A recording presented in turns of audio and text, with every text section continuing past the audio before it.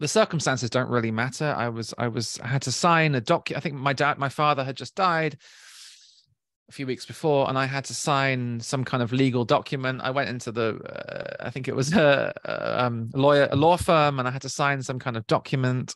Anyway, I made a stupid little mistake on the document. I think I signed the wrong uh, box or something, so I ruined the document and then the document had to be resent over from another country or something like that. The circumstances don't really matter but what matters is that out of the blue and it shocked me really i was walking home from the law office or wherever it was and just this profound wave of shame and guilt just out of nowhere just came and these voices in the head just out of nowhere like jeff you are a complete f up you know you you you what's wrong with you? Like why couldn't you sign the you signed the wrong box? What's wrong with you? You're so dumb like blah blah blah blah and it was it was shocking you know out out of nowhere and just suddenly i wasn't an adult anymore. I was like a seven year old kid going oh my god like what's wrong with me? I did a horrible thing. And it's uh, objectively, all I'd done was si- sign, it was like nothing, you know, uh, rationally, objectively, it was just signing the wrong box on a form. It wasn't a big, it wasn't a big mistake. Like it, you know, it was, it was nothing really, but it was fascinating to see just what was triggered in me. These voices in the head and these sensations in the body, like, you know, again, like, it's like a, sick feeling. It was like a feeling of, of nausea, like tightness in the belly, in in the in in the chest. The throat was all closed, and um, and I remember just walking, like just being shocked at how vicious this voice was out of nowhere, and how intense these feelings were. And then I noticed. Then I noticed what I noticed was that there was a part of me that wanted to get rid of this experience, right? Again, understandably, there was a part of me, I don't want to be having this experience. I want the peace and the bliss and the joy and the relaxation. I don't want this.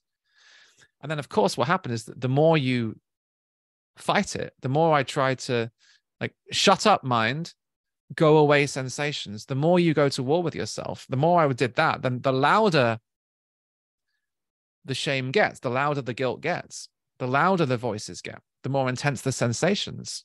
It's like they they feed on your resistance. They you empower them with your pushing away, with your resistance, with your trying to stop them. And so then I kind of noticed that. Then I was shocked. I was shocked at that. I was, oh my God, like, look at me going to war with my experience. And so now not only do I have the shame and the guilt, but now I also have my fight against the experience, which just makes it worse. Anyway, um, I'll try and keep this story short. Uh, so fast forward about an hour, a couple of hours, and I I remember I went, I think I was at the time I was staying somewhere with a swimming pool, just happened to have a swimming pool. And I went into the swimming pool and I um there was a moment where I just turned towards the shame and the guilt. You know, I had this experience of just, oh, this is just like, it's just a little child in me. That's all it is. It's so innocent. It's so innocent. It's this little child in me that really feels he did a horrible thing, that feels like he's a horrible person for signing the wrong box. He feels like he's going to be punished. He feels like daddy's going to hit him or mummy's going to scream at him because he did a bad thing. And that means he's a horrible, unworthy, sick, yucky, sinful being. And suddenly in that moment in the swimming pool, I I experienced myself as just being bigger. Yes, we've, we've been talking about this, just being bigger than all of it. I wasn't caught up in the shame and guilt anymore. I was the one holding. I was now holding the shame and the guilt. The shame and the guilt weren't holding me, but I was I was holding them. I I was bigger than the shame and the guilt. It's like I was I was the presence. I was the parent.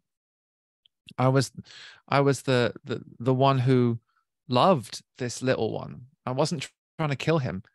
I wasn't trying to get rid of him. I wasn't trying to silence him. I wasn't trying to shut him up. I wasn't trying to purify him. I wasn't trying to escape him and become enlightened. All of that fell away all the little tricks of the mind, you know, even trying to transcend it or go beyond it or increase my vibration, all these little tricks. It was all, and it was just fell into simplicity. It was just me having a swim with this little one inside of me who felt bad. And then there was a sense of, hey, you know, you can, you can, you can be here. You can, you can swim with me. You can come for a swim with me. Let, let's go for a swim together. Actually, it's kind of what we were just talking about with Alice. Like, not trying to fix him, not trying to shut him up, or not trying to make him transform, even. It was just, let's go for a swim. Like, I love you and I'm here, and I'm not going to try and get rid of you anymore. I'm not going to hurt you. I'm not going to abandon you. I'm not going to try and silence you. I'm I'm just I'm present. I am presence itself. Um let's go for a swim or let's go for a walk or let's sit together under the stars or let's whatever. Let's sit together in meditation. Because in a way this was a kind of meditation. Um, it's all meditation. And then what i noticed over the next hour a couple of hours is, is that the the shame and the guilt just kind of dissipated kind of faded away but not because i did that. And that that's really the point i wanted to make. Not because i not because i made it go away. But actually the opposite because I, I gave up. There was like a surrender. I was like maybe you're maybe you're not going to go away. It, it became that kind of conversation you know. Oh maybe it's not about making you go away. Maybe you're not going to go away. Maybe it's not about making you go away. Maybe it's about becoming friends with you and listening to you like and and um holding you you know love love really. So it's it's it's that sense of shame and guilt um they don't have you anymore you have them. They don't hold you anymore you hold them. That shift into holding what's here instead of what's here instead of being trapped by it but the the way you get there is not by resisting and not by attacking and not by you know um here's the method for getting rid of shame and here's the method for getting rid of guilt and here's the method for being free from fear. This you start to feel the violence in that you know it's like how can you truly look that child in the eye? Again it's a metaphor but and and and, and say i want to get rid of you. I want to be free from you. It's not even that. It's like you don't free yourself from them they kind of free themselves from you. Shame and guilt free themselves from you. When they feel loved and when they feel safe and when they feel listened to they get to have their voice. They get to have their say you know? And then just to finish the story this is like a few hours later now but i then the humor came back. Then i began to laugh. I was like oh my god like what a journey i've been on in the past few hours just from tick just from signing the wrong box. It's incredible. It's so humbling. It's so humbling and so fascinating. And and then not just humor came but also gratitude came. And uh, and you can't skip to gratitude. You kind of have to go through the process but then there was this genuine gratitude. Oh it's like thank you life for helping me for giving me the, the circumstances for like making me tick the uh, sign the wrong box to trigger all of this stuff to so i could meet myself more deeply. Thank you universe for giving me this experience of meeting myself more deeply of meeting this this very precious child inside of me of going for this beautiful swim of you know thank you. But you can't again you can't skip to the good stuff. You can't skip to the gratitude and the peace and the love and the joy. You kind of have to go through the you know go into the cave. You know you go and go into the dragon's the dragon's lair. And you know you run the risk of you know maybe the dragon will eat me you know? Or maybe I'll realize that the dragon was actually a, a dear friend and a very precious part of me. And, and, um, you know, I'll fall in love with that dragon and we'll live happily ever after together.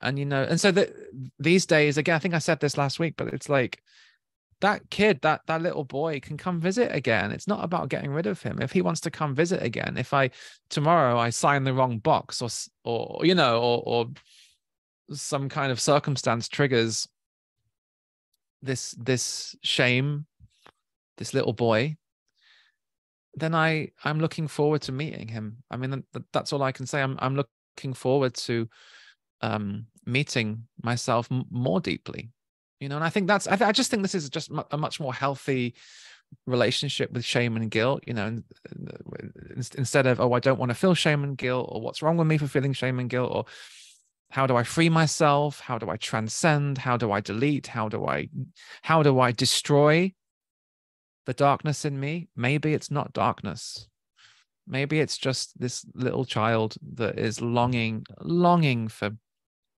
for light which is love you know it's longing longing to be held in your light longing to go for a swim with you or longing to meet you, you know, go for a walk, have a meditation, have a cup of tea. So thank you so much, friends. It's been a long call. Uh, thank you for thank you for bearing with me, and uh, thank you for showing up and for showing up for yourselves and for being willing to to go to these these places and um, for having the courage to to look because really that's what it's all about. It's looking with with fresh eyes. Um, lots of love to you all. I'll see you. Uh, I'll see you soon.